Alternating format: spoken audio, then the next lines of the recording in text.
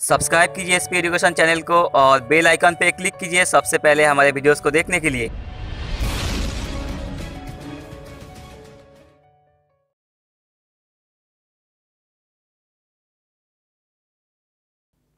Hello everyone welcome to SP education और आज हमारी वीडियो स्टार्ट करने से पहले मैं आप सभी को बहुत बहुत थैंक यू बोलना चाहूँगी कि आपने हमारी वीडियोस को देखा और अपना वैल्यूएबल फीडबैक हमें कमेंट्स में कॉल्स करके मैसेज करके बताया कि आपको हमारी वीडियोस कितनी पसंद आ रही हैं।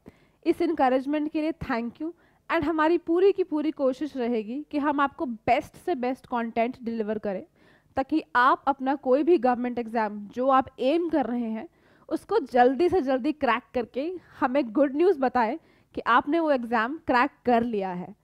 और आज की हमारी इस वीडियो को शुरू करने से पहले मैं फिर से आपको थैंक यू बोलना चाहूँगी कि आप अपने बिज़ी रूटीन से टाइम निकाल के हमको देखा और हमें फीडबैक दिया, जो हमारे लिए बहुत ही ज़्यादा वैल्यूएबल है। तो आज हम अपना पिछले लेक्चर जहाँ पे हमने छोड़ा था, वहाँ से हम टॉपिक्स कंटिन्यू करने वाले हैं। और जैसा कि हमारी लास्ट वीडियो में हमने आर्टिकल 14 को डिस्कस किया था डिटेल में मैं पहले तो ये रिकैप कर लूँ कि लास्ट वीडियो में हमने क्या किया था। लास्ट वीडियो में हमने आर्टिकल 14 के बारे में बात की थी। हम फंडामेंटल राइट्स डिस्कस कर रहे हैं अभी और फंडामेंटल राइट्स में हम राइट्स टू इक्वालिटी को डिस्कस कर रहे हैं। राइट्स टू इक्वालिटी आपका कौन सा राइट right है? राइट टू इक्वालिटी बहुत ही इंपॉर्टेंट फंडामेंटल राइट है। इक्वालिटी का मतलब होता है बराबरी। कोई भेदभाव नहीं होना। लेकिन आर्टिकल 14 जो है वो राइट टू इक्वालिटी को डिफाइन करता है कि किस तरीके से राइट टू इक्वालिटी हमारी कॉन्स्टिट्यूशन के अंदर दी गई है। आर्टिकल 14 अगर हम बोलें और समझें तो एक बहुत ही जनरल सा प्रिंसिपल नहीं, एक जनरल सा फंडामेंटल राइट right है। जनरल मतलब वो आर्टिकल 14 राइट टू इक्वालिटी की बात करता है। आर्टिकल 14 जो है वो राइट टू इक्वालिटी की बात करता है बहुत ही जनरल और नॉन स्पेसिफिक कंडीशंस में। अब नॉन स्पेसिफिक कंडीशन का मतलब है किसी स्पेसिफिक कंडीशन में राइट टू इक्वालिटी या इक्वालिटी का जो राइट right है फंडामेंटल राइट right, उसके बारे में आर्टिकल 14 बात नहीं करता। आर्टिकल 14 से लेके आर्टिकल 18 तक हमारी राइट्स टू इक्वालिटी की जो प्रोविजंस हैं जो आर्टिकल 14 मतलब अनुच्छेद 14 से लेके अनुच्छेद 18 तक राइट टू इक्वालिटी की जो प्रोविजंस हैं उसके अंदर राइट टू इक्वालिटी जो है वो काफ़ी तरीके से पूरे तरीके से एनकम्पास हो रखा है। लेकिन आर्टिकल 14 जो पहला अनुच्छेद है आर्टिकल राइट टू इक्वालिटी के ब्रैकेट में उसमें सिर्फ़ राइट टू इक्वालिटी को बताया गया है कि इक्वालिटी क्या है और कैसे अप्लाई होती है। अब वो स्पेसिफिक सिचुएशंस में स्पेसिफिक सिचुएशन मतलब कब और कैसे अप्लाई होगी वो हम आगे के आर्टिकल्स में वो हम आगे के अनुच्छेदों में समझेंगे। तो 15, 16, 17 और 18 जो हैं वो थोड़े स्पेसिफिक टोन में चले जाते हैं राइट टू इक्वालिटी के एप्लीकेशन में। राइट टू इक्वालिटी अप्लाई कैसे होगा? सिचुएशंस पर लोगों पर पॉपुलेशन पर। ये हमें समझना है आर्टिकल 15, 16, 17 और 18 मान लीजिए जैसे कि अभी वीकेंड चल रहा है और कुछ दिन बाद फिर वीकेंड आ जाएगा और हफ़्ता बीतते में बिल्कुल देर नहीं लगती है। तो मैं आपसे पूछना चाहूँगी कि जैसे वीकेंड पे आप कहीं घूमने जाते हैं थोड़ा सा रिफ़्रेश होना चाहते हैं, अपनी पढ़ाई से ब्रेक लेना चाहते हैं, आप कभी सिनेमा हॉल में गए होंगे या आप रेगुलरली जाते होंगे? बहुत अच्छी अच्छी मूवीज़ रिलीज़ हो रही हैं आजकल तो। तो क्या आपने कभी देखा है कि सिनेमा हॉल के बाहर या सिनेमा हॉल के टिकट काउंटर के वहाँ पर ये लिखा है कि only Punjabis are allowed to watch this movie because it is a Punjabi movie और कभी ये लिखा है कि गुजरात के लोग ही इस पिक्चर को देख सकते हैं क्योंकि ये गुजराती मूवी है या इसमें गुजराती जो एक्टर जो हैं वो गुजराती सिनेमा के हैं या गुजराती सीरियल्स के लीड एक्टर हैं या कुछ ऐसा। क्या आपने कभी देखा है कि कोई ऐसी कंडीशन लिखी है कि जब आप सिनेमा हॉल में गए और आपने देखा कि ये कैटेगरी के लोग नहीं देख सकते पिक्चर या वो कैटेगरी के लोग नहीं देख सकते। अच्छा अडल्ट और यूनिवर्सल वाली सर्टिफिकेशन जो होती है मूवीज़ में, वो अलग बात है। उसके बारे में हम बाद में चर्चा करेंगे, वो यहाँ अप्लाई नहीं होता है। लेकिन कभी आपने ये देखा है कि आप मूवी हॉल गए और वहाँ लिखा है कि यहाँ पर 50 प्लस के जो लोग हैं, वो इस पिक्चर को नहीं देख सकते क्योंकि ये मूवी जो है, वो कॉलेज के लोगों पर बनी है। ऐसा कहीं आपने देखा है? बहुत सारी मूवीज़ होती हैं, वो कॉलेज सेंट्रिक मूवीज़ होती हैं, कि उसमें कॉलेज की लाइफ को बहुत ग्लोरीफाई किया है या कॉलेज की लाइफ के बारे में बहुत बातें करी गई हैं। तो ऐसा कहीं बोला गया है कि जो एजड लोग हैं या जो कॉलेज लाइफ को बहुत साल पहले छोड़ चुके हैं, वो ये मूवी नहीं देख सकते? या लेडीज़ नहीं देख सकती? या सिर्फ़ मेन सेंट्रिक मूवी है तो आदमियों को ही देखने का हक है, क्योंकि इसमें बहुत वायलेंस है? ऐसा तो नहीं होता ना? कैसे होता है? आप सोचिए ज़रा। आप गए होंगे मूवी हॉल या आप जाते होंगे या तो सब लोग पिक्चर कभी ना कभी सिनेमा हॉल गए होंगे। ये मैं प्रज्यूम करके चल रही हूँ। तो क्या आपको लगता है कि ऐसा कभी हुआ है या आपने कभी देखा है? इसका जवाब है नहीं। हमारे देश में ऐसा नहीं होता। इन आर कंट्री वाई ऐसा क्यों नहीं होता है कि कोई भी कंडीशन अप्लाई नहीं होती है किसी पब्लिक प्लेस पे कि इस कैटेगरी के लोग जो है या इस कास्ट के लोग जो है या इस कम्युनिटी के लोग जो है वो नहीं जा सकते देखने के लिए आपका कोई मूवी किसी सिनेमा हॉल में। अब सिनेमा हॉल जो जगह है, वो is not a private place वो कोई प्राइवेट प्लेस नहीं है, वो क्या है? It is a public place अभी हम इसको थोड़ा समझेंगे कि पब्लिक प्लेस का क्या मतलब होता है। पब्लिक प्लेस वो प्लेस होती हैं जहाँ पर generally in normal situations public को, जनता को असेस है। पब्लिक वहाँ पर आती ही जाती हैं। वहाँ पर जनता का आवन गमन है। आपका घर जो है, वो पब्लिक प्लेस नहीं है। ठीक है? क्योंकि वहाँ पर आप हो, आपकी फैमिली है और आप जिसको चाहते हो वही एंटर कर सकते हो, वही आ सकता है। कोई भी उठ के आपके घर के अंदर आ जाए और बोले कि नहीं राइट्स टू इक्वालिटी है, अगर कोई एक्स बंदा आपके घर में एंट्री ले सकता है तो हम क्यों नहीं ले सकते? Why because your house is a private place वो एक प्राइवेट जगह है, वो प्राइवेट प्लेस है, आपका अपना घर है that is your personal property in all the senses लेकिन पब्लिक प्लेसेस पर कोई भी कंडीशन या कोई भी अनरीजनेबल रिस्ट्रिक्शन नहीं डाली जा सकती है। ऐसा क्यों? क्योंकि हमारे पास राइट टू इक्वालिटी का प्रोविज़न है। और राइट टू इक्वालिटी का वो कौन सा प्रोविज़न है? आर्टिकल 14 तो जनरल है, लेकिन वो राइट टू इक्वालिटी का आर्टिकल 15 है, जो बताता है कि आप पब्लिक प्लेसेस पर भी, चाहे सिनेमा हॉल हो पब्लिक टैंक्स हो पब्लिक वेल्स हो, या कोई गार्डन हो, या कोई ऐसी मोन्यूमेंट की कोई जगह हो हिस्टोरिकल इंपॉर्टेंस की, जहाँ पर पब्लिक आ सकती है या पब्लिक जा सकती है, या पब्लिक की एंट्री वहाँ पर अलाउड है। तो जो पब्लिक प्लेसेस हैं, वहाँ पर आप किसी भी बेस पर अच्छा किसी भी बेस का मतलब है देर आर सम फैक्टर्स उन फैक्टर्स पर आप डिस्क्रिमिनेट नहीं कर सकते। अब डिस्क्रिमिनेट का मतलब होता है भेदभाव, और डिस्क्रिमिनेट वर्ड जो है बहुत ही नेगेटिव वर्ड भी है। भेदभाव और वो भेदभाव भी बड़ी नेगेटिव और गलत टोन में भेदभाव।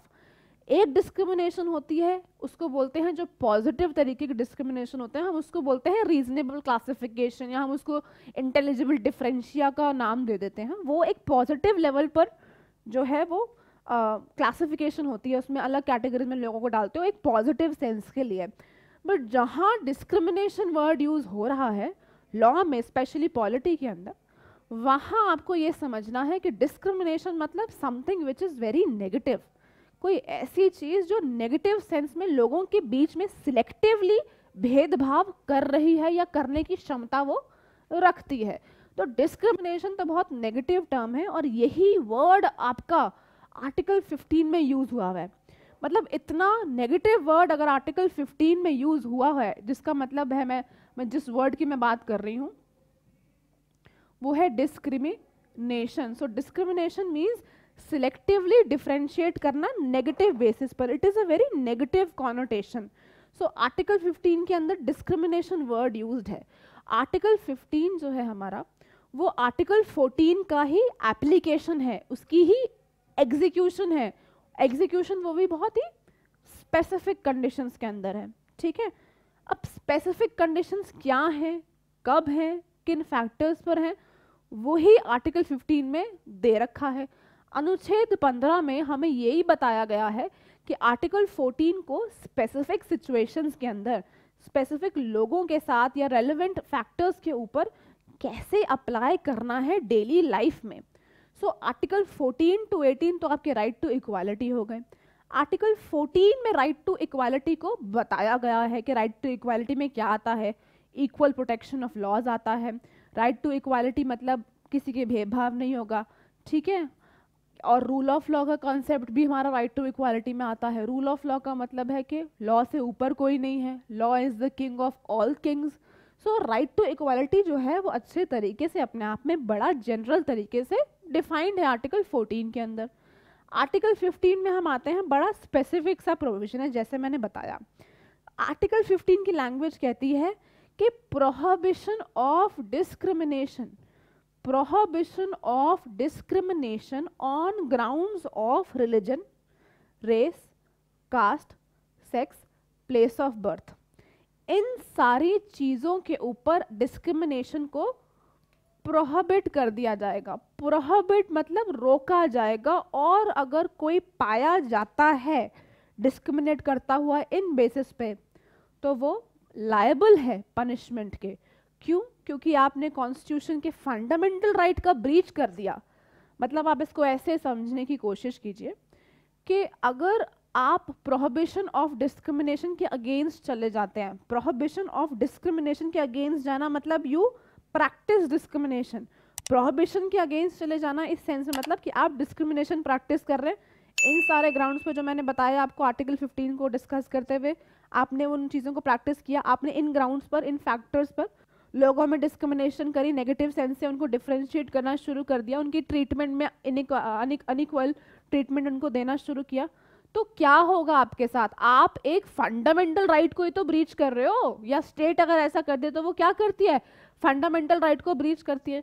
और हमने पिछली वीडियोस में ये समझा है कि फंडामेंटल राइट्स जो हैं हमारे, वो क्या है? They are justiciable justiciable word आपको याद रखना बहुत ही ज़्यादा ज़रूरी है। ये बार बार आएगा जब जब आप, जब तक आप फंडामेंटल राइट से डील कर रहे हो, आपको इस वर्ड को बिल्कुल अपने दिमाग में समझ के रखना है कि जस्टिशिएबल का मतलब होता है कुछ भी ऐसी चीज़ जो लॉ कोर्ट्स के अंदर इन्फोर्स की जा सकती है।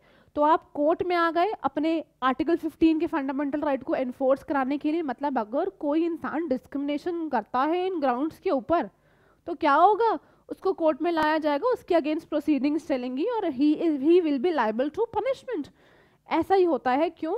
For the sole reason fundamental rights are justiciable उनको मानना ही मानना है कोई उनके अगेंस्ट जा नहीं सकता। जब कोई लॉ कॉन्स्टिट्यूशन की प्रोविजंस के अगेंस्ट नहीं जा सकता कोई लॉ uh, बना हुआ लॉ फंडामेंटल राइट्स के अगेंस्ट नहीं जा सकता तो कोई इंसान का कंडक्ट भी अगर फंडामेंटल राइट्स के या basic structure of the constitution के अगेंस्ट जाएगा तो उसको भी पनिशमेंट का भागीदारी बनना पड़ेगा। अब लॉ को तो आप पनिश नहीं कर सकते तो कोई ऐसा लॉ जो कॉन्स्टिट्यूशन की प्रिंसिपल्स के अगेंस्ट है, उसको आप पनिश नहीं करोगे, उस लॉ को आप रोक दोगे। आप उस लॉ को नलिफाई कर दोगे वॉइड और अनकॉन्स्टिट्यूशनल डिक्लेयर कर दोगे। तो जब लॉ ही नहीं टिक सकता कॉन्स्टिट्यूशन के अगेंस्ट तो कोई इंसान या कोई स्टेट क्या चीज़ है कॉन्स्टिट्यूशन के अगेंस्ट भी कोई कंडक्ट करने के लिए तो इसीलिए अगर कोई डिस्क्रिमिनेशन करता भी है तो इन्हीं ग्राउंड्स पे जो हम डिस्कस कर रहे हैं और करेंगे हम आगे तो ही is liable to punishment and proceedings अब discrimination on the basis of religion race caste sex और प्लेस ऑफ़ बर्थ रिलीजन का मतलब आप सब समझते हैं कि आप कौन से रिलीजियस ग्रुप को बिलोंग करते हैं, आप हिंदू हैं, मुस्लिम हैं क्रिश्चियन हैं पारसी हैं सिख हैं, जो भी हैं आप, ठीक है? रेस मतलब आप कौन सी रेस को बिलोंग करते हैं? ठीक है?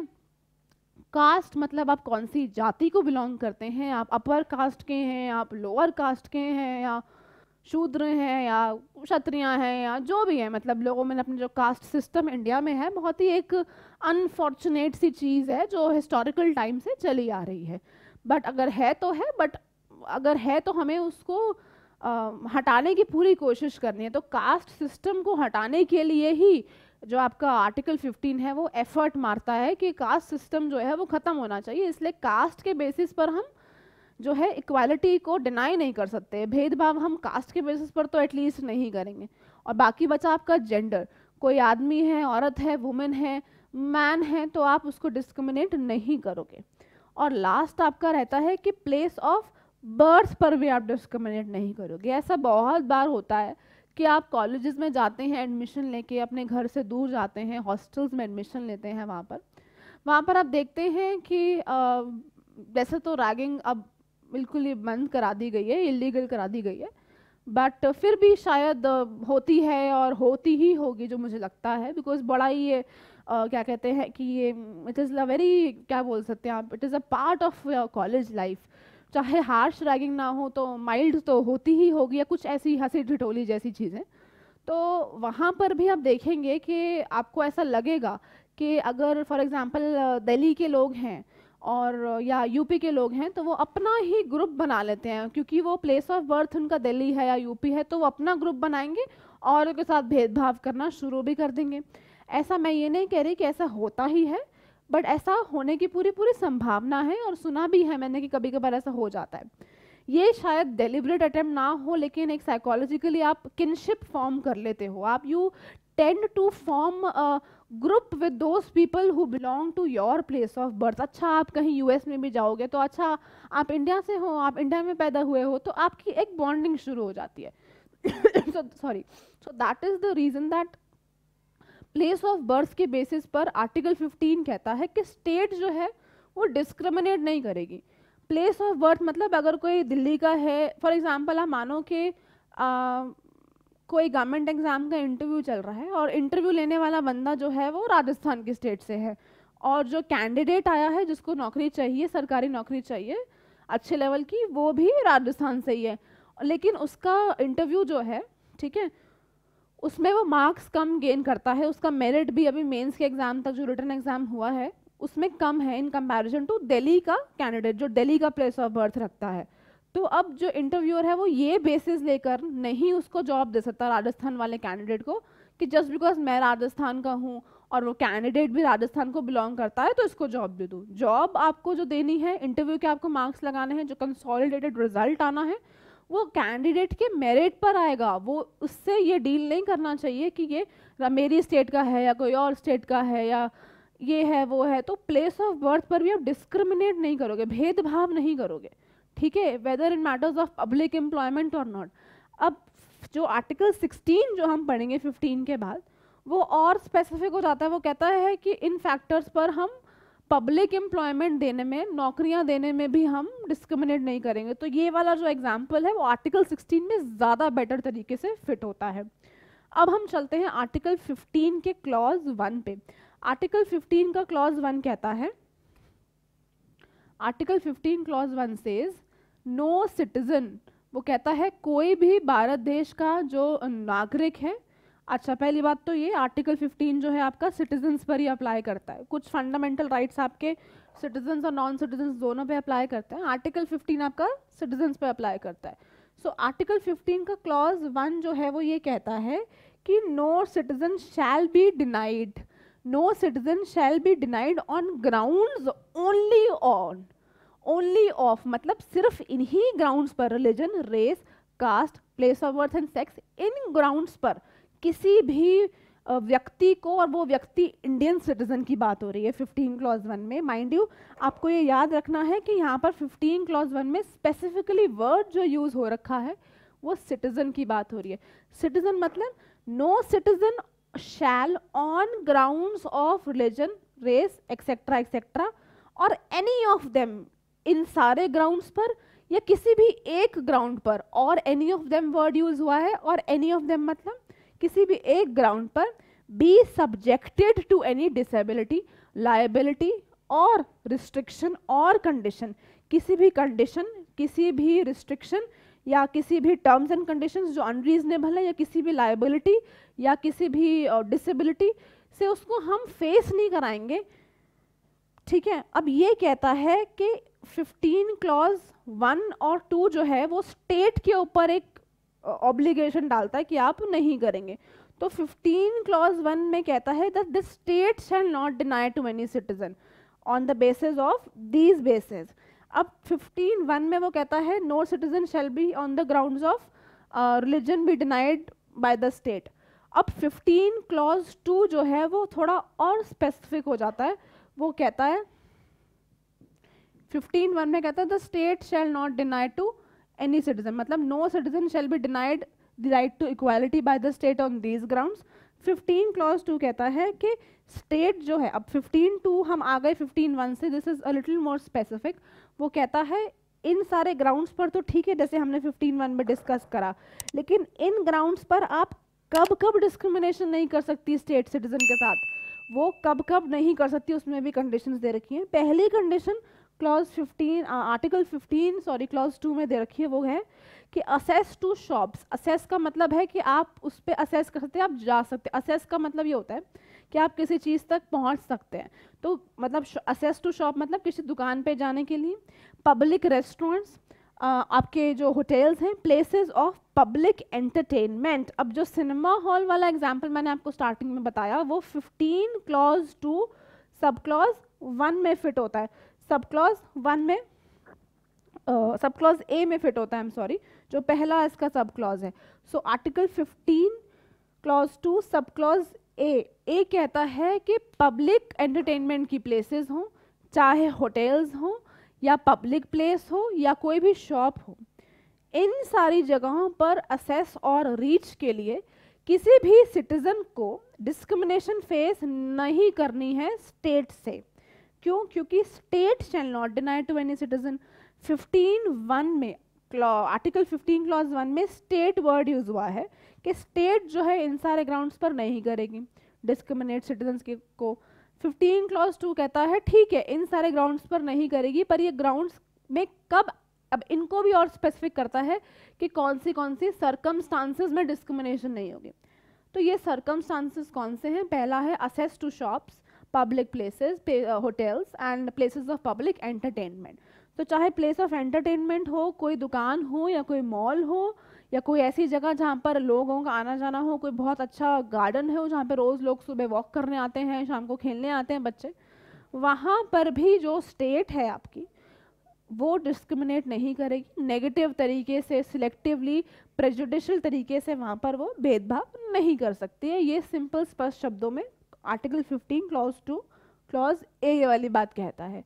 नाउ क्लॉज बी जो है, आर्टिकल 15 क्लॉज टू का जो सब क्लॉज बी है, वो कहता है no citizen shall be denied by the state only on grounds of religion race etcetera etcetera फिर हम बोलेंगे the use of wells tanks bathing ghats and places of public resort now it says के wells tanks places of public resort public resort मतलब जहाँ पर public जाती है। वो कोई भी जगह हो सकती है, चाहे गार्डन है या कुछ भी पब्लिक रिजॉर्ट वाला जो वर्ड है वो और ज़्यादा वाइड है। प्लेसेस ऑफ़ पब्लिक एंटरटेनमेंट से। Place of public entertainment can be a place of public resort also but ये थोड़ा और वाइड है। वो कहता है कि किसी को भी किसी टैंक्स मतलब पानी वाली जगह या बेदिंग घाट, जहाँ पर जैसे गाँव में बेदिंग घाट्स होते हैं बहुत मतलब जहाँ पर जाके लोग नहाते हैं। अब शहरों में तो सबके पास अपना होता है घर और बाथरूम्स एंड ऑल दैट तो देन वहाँ पर बेदिंग हार्ट्स में नहाने का फ्रेश होने का कल्चर होता है बहुत। इंटीरियर्स में आप जाओगे वैसे गाँव में भी शौचालय वगैरह बने लेकिन बेदिंग हार्ट्स का कॉन्सेप्ट अभी भी प्रेवलेंट है हमारे कंट्री के अंदर। सो so, कहता है access to tanks wells wells क्या होते हैं? वेल्स मतलब कुआँ जहाँ से पानी निकलता है तो आप ये नहीं कह सकते। अब इसमें एक और एग्ज़ाम्पल आ सकता है कि जो टैंक्स वेल्स और बेदिंग घाट्स हैं, इसमें क्या होता है? इसमें पानी लोग यूज़ कर रहे हैं।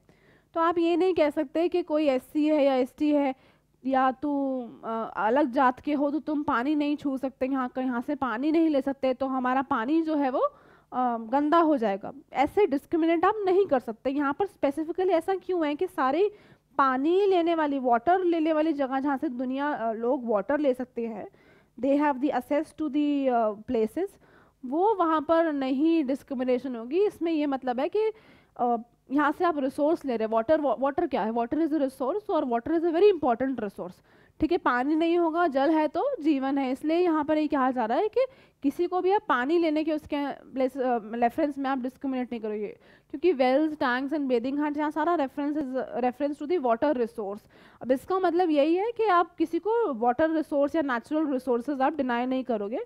जस्ट बिकॉज़ वो इस रेस का है या इस कास्ट का है या इस जेंडर का है या कहीं उसका प्लेस ऑफ़ बर्थ है, ठीक है? ना इसमें तो हमें समझ में आ गया। और any place of public resort place of public resort का मतलब है कि जहाँ पर पब्लिक का आना जाना है। अब इसके बाद एक और लाइन आती है आर्टिकल 15 क्लॉज टू में। वो ये कहती है वर्ड्स हैं लाइन तो चल वही है, चलो वर्ड्स हैं। वो कहती है होली और partly maintained out of state funds अब ये जो वेल्स टैंक्स बेदिंग घाट्स और प्लेसेस ऑफ़ पब्लिक रिजॉर्ट की हमने बात की है, वो कह रहे हैं कि वो ऐसे टैंक्स हैं, ऐसे वेल्स हैं जो स्टेट फंड कर रही है। मान लो किसी का प्राइवेट बेदिंग घाट है किसी ने खुद बनवाया है अपनी फैमिली के लिए, अपने लोगों के लिए, वहाँ पर आर्टिकल 15 अप्लाई नहीं होगा। वहाँ पर वो पूरा उसके पास फ्रीडम है कि वो रिस्ट्रिक्शन डाल सके लोगों की एंट्री पर, क्योंकि वो पब्लिक वेल या पब्लिक टैंक नहीं है, या प्लेस ऑफ़ पब्लिक रिजॉर्ट नहीं है और उसको स्टेट फंडिंग नहीं मिल रही है। तो इसका सीधा मतलब यही है, कोई भी ऐसी प्लेस ऑफ़ पब्लिक रिजॉर्ट या कोई भी टैंक या वेल जिसको स्टेट फंड कर रही है, चाहे उसमें हंड्रेड परसेंट फंडिंग स्टेट की है या कुछ पोर्शन या कोई पार्ट स्टेट फंड कर रहा है। मतलब स्टेट का रोल उसकी फंडिंग में आ गया, चाहे पूरा या थोड़ा या आधा, जितना भी है। तो फिर स्टेट अपने ही फंडिंग वाली जगहों पर जो है नहीं डिस्क्रिमिनेट कर सकती है। सो आर्टिकल 15 बहुत ही इंटरेस्टिंग और अच्छा आर्टिकल है इक्वालिटी के ऊपर, जो डेली लाइफ में हम लोग फॉलो कर ही रहे हैं और अगर नहीं करते तो वो गलत है। बहुत ही दुर्भाग्य और शर्मिंदगी की बात है कि आप लोगों में इसी ग्राउंड पर भेदभाव कर रहे हैं। अब आ जाते हैं आर्टिकल 15 क्लॉज थ्री पर। आर्टिकल 15 क्लॉज थ्री जो है, वो थोड़ा सा हटकर है क्लॉज 15 वन और क्लॉज 15 टू से। जो बात आर्टिकल 15 क्लॉज वन में दी गई है, उसी का ही एक्सटेंशन आर्टिकल 15 क्लॉज टू में दे रखा है। लेकिन अब आ जाते हैं हम आर्टिकल 15 क्लॉज थ्री पर। अब आर्टिकल 15 क्लॉज थ्री जो है, वो बहुत ही अलग टोन पर चल रहा है।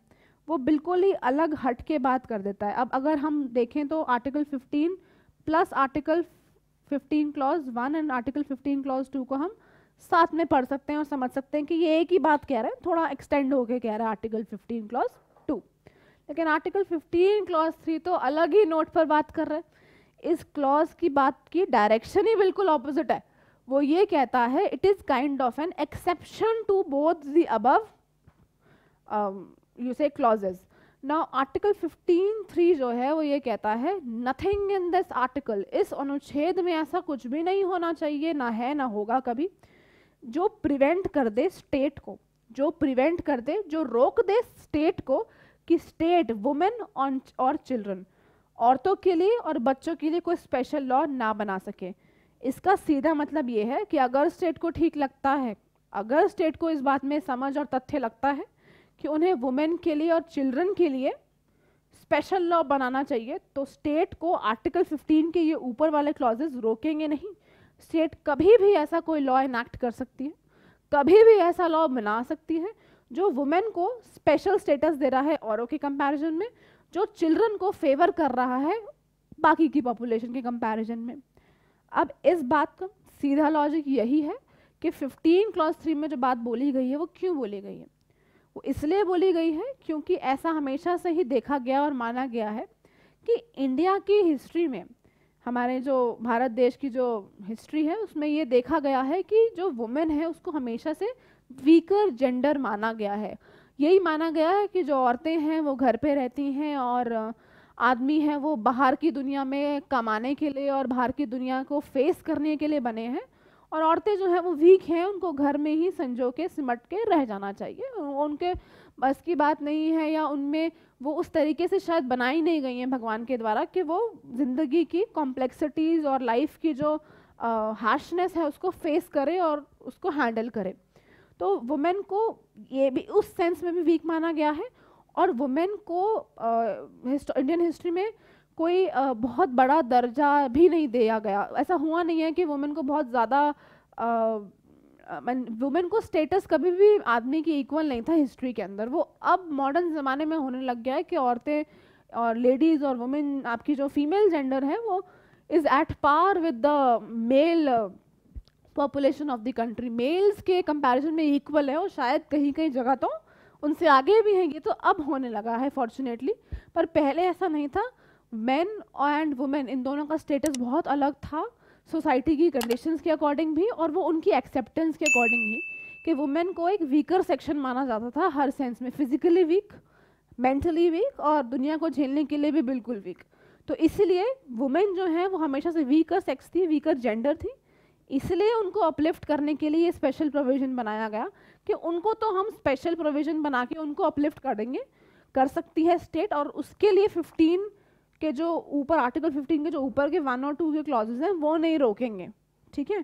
स्टेट को ये लॉ को बनाने से। Same goes with the children children के लिए क्यों? क्योंकि लो जो बच्चे जो होते हैं वो देश का आगे भविष्य हैं और अगर उनको स्टेट uh, को लगता है कि अभी जो बच्चे हैं उनको स्पेशल अटेंशन या किसी स्पेशल प्रोटेक्शन या स्पेशल लॉ की ज़रूरत है आगे बढ़ने के लिए तो स्टेट खुशी खुशी उनके लिए लॉ बनाए या बना सकती है क्योंकि उनको चिल्ड्रन को प्रोटेक्शन चाहिए and they are in the formative stages of their life मतलब अभी वो एस्टैब्लिश नहीं हुए हैं, अपने पैरों पर नहीं खड़े हुए हैं और कल का भविष्य भी है, इसीलिए ही स्टेट जो है खुशी खुशी उनके लिए स्पेशल लॉ बना सकती है और आर्टिकल 15 के ऊपर की या नीचे की कहीं के भी कोई प्रोविज़न स्टेट को रोक नहीं सकती ये वाला लॉ बनाने के से, ठीक है?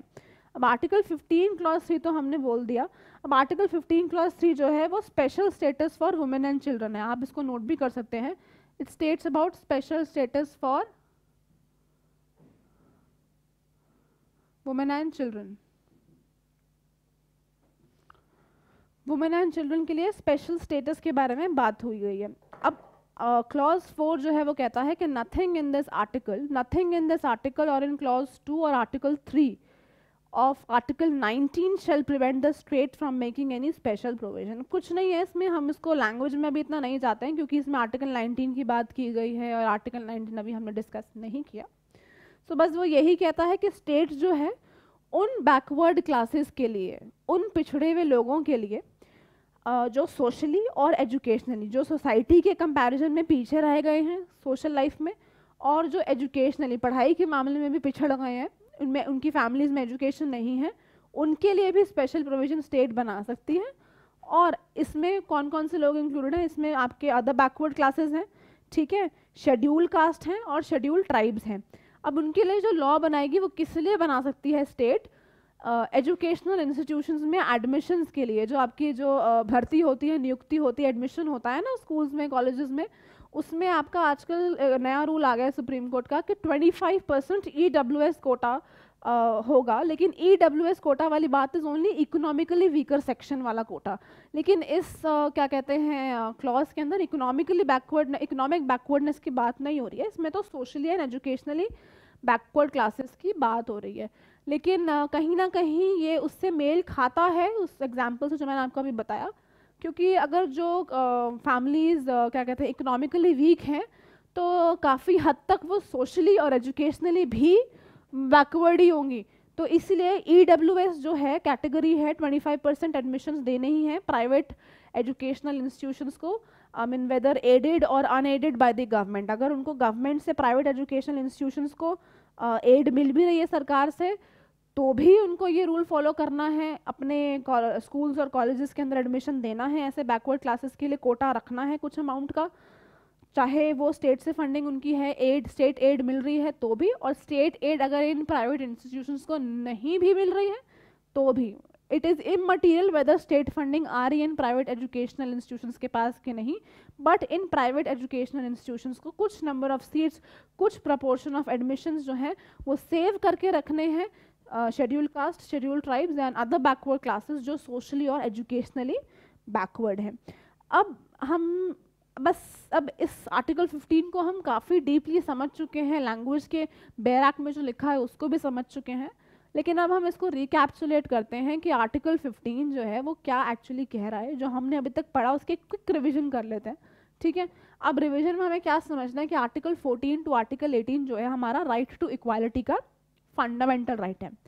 आर्टिकल 14 के अंदर राइट टू इक्वालिटी क्या है वो बताया हुआ है। आर्टिकल 14 जो है वो एक जनरल सा आर्टिकल है। अब आर्टिकल 15 जो है वो डिस्क्रिमिनेशन को प्रोहिबिट करता है। उसकी लैंग्वेज है prohibition of discrimination on X Y Z grounds prohibition of discrimination ही उसका पूरा कीवर्ड है। तो कीवर्ड आर्टिकल 15 का है डिस्क्रिमिनेशन मतलब डिस्क्रिमिनेशन को रोक रहा है आर्टिकल 15 अब क्लॉज वन पर आ जाते हैं, वो कहता है कि स्टेट जो है वो डिस्क्रिमिनेट नहीं करेगी। इसका सीधा साफ़ मतलब है कि स्टेट जो है डिस्क्रिमिनेट नहीं करेगी against any citizen on ground only of religion race X Y Z ठीक है? फिफ्टीन टू के अंदर बात की गई है कि इन ग्राउंड्स पर स्टेट जो है सिटीजन्स के साथ में इस देश के नागरिकों के साथ में डिस्क्रिमिनेट नहीं करेगी। कौन कौन सी कंडीशंस में डिस्क्रिमिनेट नहीं करेगी? ये religion race caste place of birth सारी की सारी चीज़ें आपकी तो ग्राउंड्स ऑफ़ डिस्क्रिमिनेशन हो गए। लेकिन 15 क्लॉज टू के अंदर सर्कमस्टांसेस सिचुएशंस और कंडीशंस डाल दी गई हैं कि इन सिचुएशंस में डिस्क्रिमिनेशन जो है नहीं की जाएगी सिटीजन्स के साथ में। अब वो कौन सी कंडीशंस हैं? वो ये कंडीशंस हैं कि आप access to shops public places public entertainment tanks हो गए वेल्स हो गए बेदिंग घाट्स हो गए, जो स्टेट फंडिंग या तो पार्शल स्टेट फंडिंग पे चल रहे हैं, या wholly out of the state funds उनको स्टेट जो है हंड्रेड परसेंट तरीके से फाइनेंशियल फंडिंग और बैकिंग दे रही है।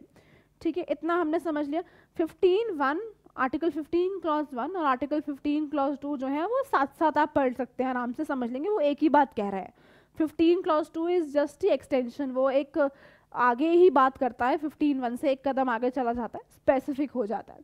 तो आर्टिकल 15 क्लॉज आपका जो थ्री है वो कहता है कि वुमेन एंड चिल्ड्रन जो हैं औरतों और बच्चों के लिए स्टेट है कभी भी स्पेशल uh, लॉ बना सकती है और आर्टिकल 15 के जो ऊपर के जो क्लॉजेज हैं प्रोविजंस हैं वो स्टेट को ये लॉ बनाने से नहीं रोक सकते। इसका रीज़न भी मैंने आपको दिया है रीजनेबल रीज़न है कि वुमेन का स्टेटस हमेशा से इंडिया में बहुत ही uh, कम था मैन के कंपैरिजन में। और चिल्ड्रन को प्रोटेक्शन की ज़रूरत होती है वो मासूम होते हैं और वो अभी अपने पैरों पे खड़े नहीं हुए हैं अपने आप में कुछ नहीं है उनको हमेशा कोई असिस्टेंस चाहिए होती है। सो so, ऐसे केसेस में स्टेट लॉ बना सकती है कोई भी स्पेशल लॉ उनकी प्रोटेक्शन और अपलिफ्टमेंट के लिए। नेक्स्ट हमने क्लॉज फोर में देखा कि जो स्टेट है वो बैकवर्ड क्लासेस की एडवांसमेंट के लिए या शेड्यूल कास्ट और शेड्यूल ट्राइब की एडवांसमेंट के लिए कोई भी स्पेशल प्रोविज़न या मतलब कोई स्पेशल लॉ बना सकती है। इसके बाद हमने देखा कि बैकवर्ड क्लासेस के एडवांसमेंट uh, के लिए चाहे वो एजुकेशनली बैकवर्ड हो या पढ़ाई लिखाई से पीछे रह गए या सोशल लाइफ के अंदर पीछे हो या सोशल लाइफ में वो इंक्लूडेड नहीं है लोग उनको थोड़ा साइड करके रखते हैं बिकॉज़ ऑफ़ एनी रीज़न तो उन लोगों के लिए भी उन बैकवर्ड क्लासेस के लिए भी और शेड्यूल कास्ट और शेड्यूल ट्राइब्स के लिए भी एडमिशन जो है प्राइवेट इंस्टीट्यूशंस के अंदर रिज़र्व रहेगा। कुछ नंबर ऑफ़ सीट्स उनके लिए भी हम संभाल के रखेंगे। तो आर्टिकल 15 क्लॉज 4 जो है वो यही बोलता है कि बैकवर्ड क्लासेस के लिए लॉ बनाया जा सकता है। और 15 क्लॉज uh, 5 जो है वो फिर से थोड़ा स्पेसिफिक हो जाता है कि स्पेशल प्रोविज़न किस सेंस में बनाई जाएगी? प्राइवेट एजुकेशनल इंस्टीट्यूशंस में एडमिशन के टाइम पर कुछ सीट्स जो है रिज़र्व करी जाएँगी बैकवर्ड क्लासेस के लिए शेड्यूल ट्राइब्स के लिए और शेड्यूल कास्ट के लिए. सो आर्टिकल 15 जो है आई होप आपको अच्छे से समझ में आ गया होगा. इस पर बहुत सारे केस लॉज भी होते हैं बट अभी के लिए इस वीडियो में हम सिर्फ़ कॉन्सेप्ट की बात करेंगे. सो so, इसमें हमें यही समझना है कि आर्टिकल 15 एक्चुअली क्या है. और thanks for watching this video very patiently और मुझे पूरा भरोसा है कि आपको इस वीडियो से बहुत बेनिफिट मिलेगा. आपको अपने एग्ज़ाम्स की प्रेपरेशन में काफ़ी हेल्प भी मिलेगी और आपको कोई भी डाउट्स हैं तो आप हमें कमेंट्स में क्वेश्चन कर सकते हैं। हम एज सुन एज पॉसिबल जितना जल्दी हो सकेगा आपको रिवर्ट बैक करेंगे और आपको पूरा सहयोग देंगे आपकी प्रेपरेशन में। ऑल द वेरी बेस्ट और इसी के साथ with the promise that we will soon be uploading the article 16 video so आप देखते रहिए keep watching and liking our channel and thanks once again